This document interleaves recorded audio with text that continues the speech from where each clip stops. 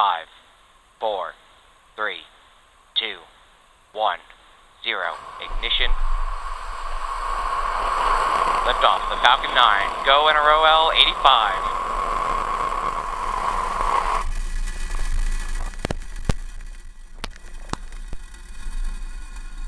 Pitching downrange. Stage 1, chamber pressure is nominal.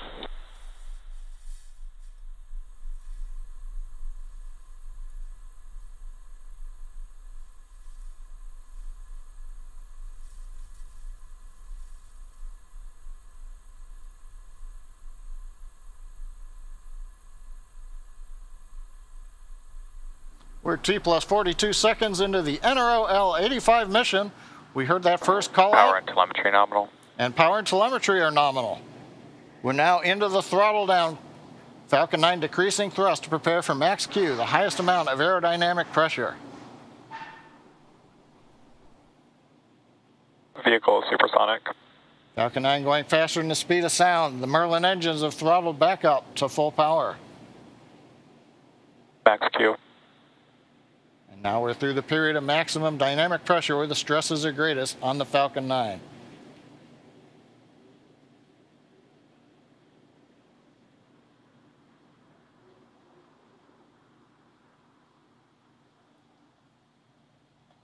T plus 1 minute 30 seconds. Everything continues to be nominal on Falcon 9. Trajectory looking good on the first stage.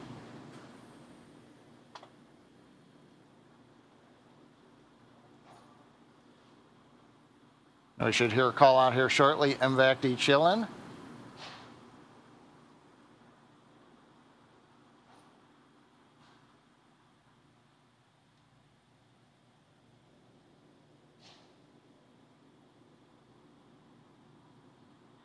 MVac engine chill has begun.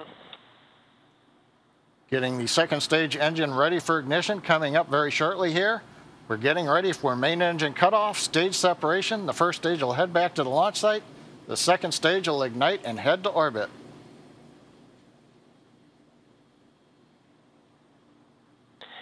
MECO. Stage separation confirmed.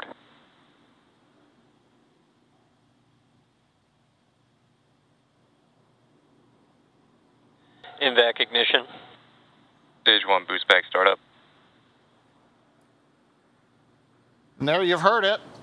And we maybe even saw all those five events that happened back to back. Now, currently on the screen, the first stage has begun its flip maneuver to reorient the nose back towards Vandenberg, and we have lit three Merlin engines. This is the boost back burn, the first of three burns the first stage will execute. This burn lasts a duration of about 48 seconds. Now, while the burn's in progress, we'll also be having events on the second stage, but we may not be hearing those and we won't be broadcasting second stage camera views at the request of our customer. Fairing separation confirmed. And we did hear fairing separation over the net. Boost back burn shutdown is coming up. Stage 1 boost back shutdown. Right on time, we've got shutdown of the three Merlin engines. We'll next be waiting to see the titanium grid fins begin their deploy now that the boost back burn is complete. And here come the fins. Pin is releasing and the four titanium grid fins beginning their slow deploy.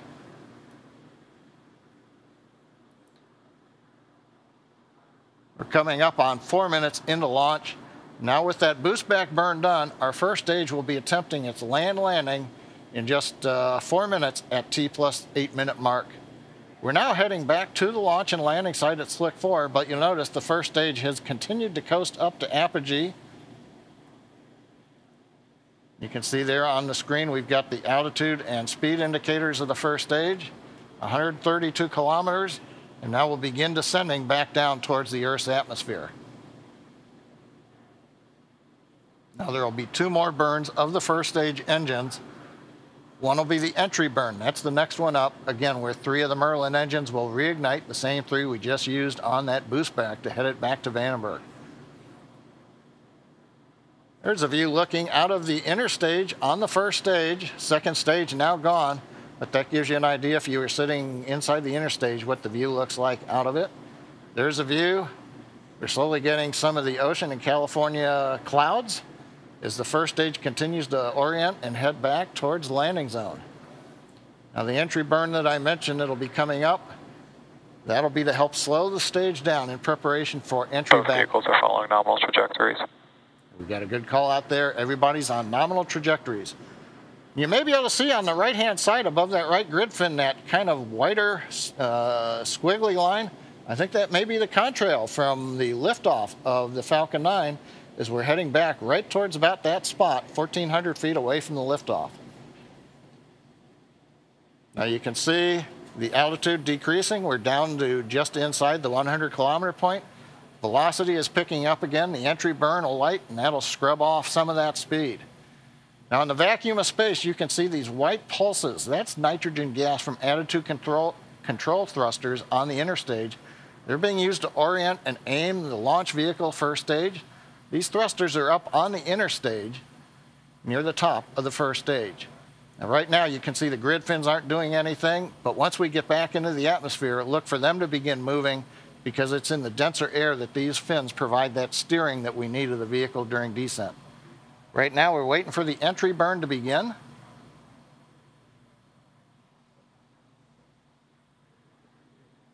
Stage 1 entry burn startup. We've heard startup. There's the center engine is lit. And now we've got two more engines up, changing the shape of the plume. Now, if you're watching the speed display, you'll notice the velocity is quickly coming down. Now, this burn will last about 21 seconds. Stage 1 entry burn shutdown. And we've got shutdown of the entry burn. And if you're watching that speed display, you'll notice we took out about half of the velocity of the first stage. We've still got one more burn to go, and that's the landing burn. Now, during the first stage landing burn, the center Merlin engine will relight and slow the vehicle down for its second landing attempt back on land, not too far from our launch site. Stage 1 FTS is safed. Flight termination system on the first stage has now been safed. Landing burn coming up in about 10 seconds. Stage 1 is transonic. Stage 2 FTS is safed. Stage 1 landing burn. We've got landing burn. You see the grid fins beginning to operate. Waiting to come through the cloud deck for a view of landing zone 4 at the old Slick 4 West at Vandenberg.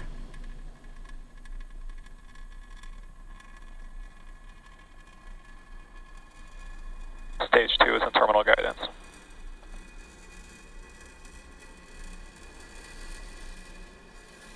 Landing leg View from the ground camera, landing legs deploying. Stage 1 landing confirmed.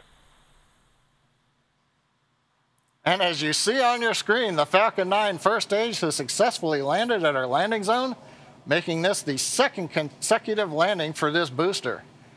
And it also marks our 114th overall successful recovery of a first stage booster. Now, since we just finished the landing of the first stage, at the request of our customer, we are concluding our webcast coverage early today. We want to thank the NRO and the U.S. Space Force for entrusting us with today's launch. And of course, thank you to all of you for joining us and hope you'll all enjoy the rest of your weekend.